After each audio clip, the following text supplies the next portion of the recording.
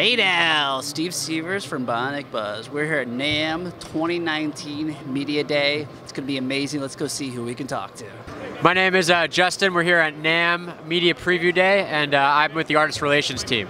Cool. So what are you guys showing up here today?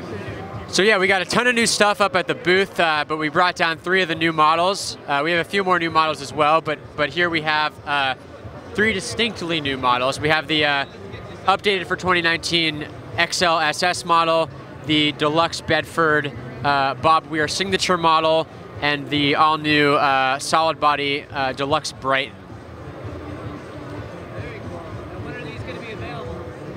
So as it stands now, uh, the SS, uh, the XL SS should be available within the next couple of months. We're shooting for about a March launch. Uh, the Bob Weir signature model uh, should be available in around April, and uh, the Brighton should be available around March as well. The price points yet? The XL SS model will be available for $17.99 uh, or $18.99, depending on whether you want a stair-step tailpiece or a stop tailpiece. Uh, I think the, the Bob Weir model should retail around uh, $19.99, and the Brighton is going to be available for around $12.99. Awesome. And where can people stay in touch? Website, social media wise? Yeah, man. So you can check us out online, uh, d'angelicoguitars.com, or follow us on Instagram. That's usually a great way to see what's going on. Same with YouTube.